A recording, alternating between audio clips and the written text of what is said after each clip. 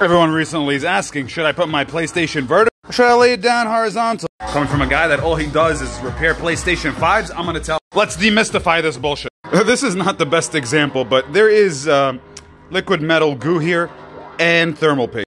Now check this out. I'm shaking. I'm shaking. I'm shaking. Nothing really happens.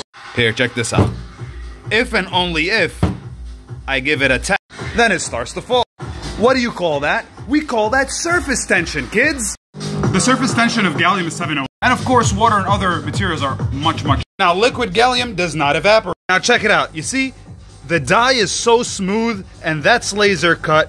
When it sits on top, it creates an airtight 100% seal. And what would be squeezed in the middle, something so thin, a size of an atom. And the surface tension on the atoms from both sides will not make it fall. Here, I opened up uh, one for a better example. This is just liquid metal, nothing else. You see?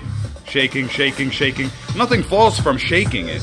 It's, there's a lot of surface tension. It's, it's if I hit it, and I don't want to hit a good working and the other dumb thing that they were talking about is that the liquid metal was seeping through. Um, there is a glue seal here, and the guy was just playing around with a fucking tweezer and making it seep through. So whether you put it vertically or horizontally, it doesn't matter when it comes to the liquid metal. However, it does matter when it comes to the CD-ROM drive. I put it horizontally and I flip it upside down because I don't want it to be sitting on the CD-ROM drive because it's a little flimsy.